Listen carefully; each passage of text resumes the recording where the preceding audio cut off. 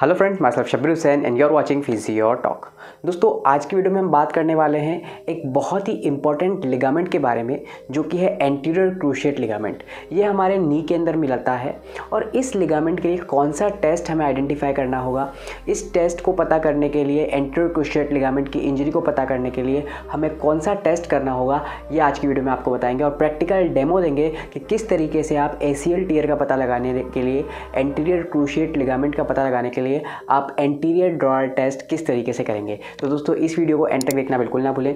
और अगर आप हमारे चैनल पर नए हैं तो चैनल को सब्सक्राइब कर लीजिए और नीचे बेल आइकन को भी दबा लीजिए, ताकि आपको हमारे आने वाली वीडियो के नोटिफिकेशन मिलते रहें। और दोस्तों, अगर अभी तक आपने हमारे चैनल को ज्वाइन नहीं किया तो नीचे ज्वाइन बटन पर क्लिक कर लीजिए। बहुत सारा प्रीमियम कंटेंट है जो कि सिर्फ़ हमारे चैनल मेंबर्स के लिए अवेलेबल है। साथ ही हम बहुत सारे गिव अवे करते हैं, जो कि एक्सक्लूसिवली हमारे चैनल मेंबर्स ही उसमें पार्टिसिपेट कर सकते हैं। तो चैनल को ज्वाइन करना बिल्कुल ना भूलें। तो चलिए शुरू करते हैं आज की वीडियो को।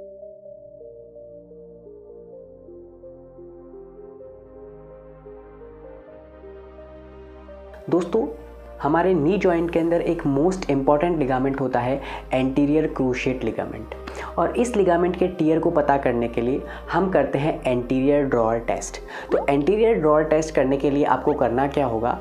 पेशेंट को सुपाइन लाइन लेटाना होगा और पेशेंट के नी जॉइंट को 90 डिग्री तक फ्लैक्स करना होगा. और थेरेपिस्ट पेशेंट के फुट को स्टेबलाइज करने के लिए पेशेंट के फुट के ऊपर सेट करेगा और पेशेंट की टीबिया को जॉइंट लाइन को पालपेट करके वहाँ से ग्रास्प करेगा. और थेरेपिस्ट को अब क्या करना है? पेशेंट की टीबिया को एंटीरियरली पुल करना है।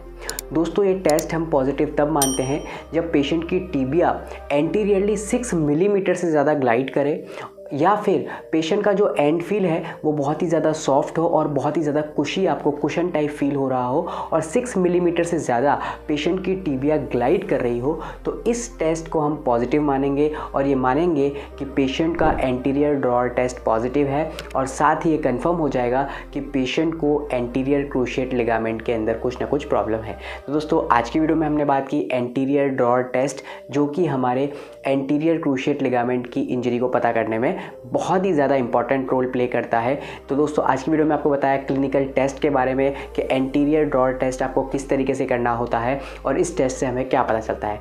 उम्मीद करता हूँ ये वीडियो आपको पसंद आई होगी। वीडियो अच्छी लगी हो तो वीडियो को लाइक शेयर एंड सब्सक्राइब करना ना भूलें। Thank you for watching physio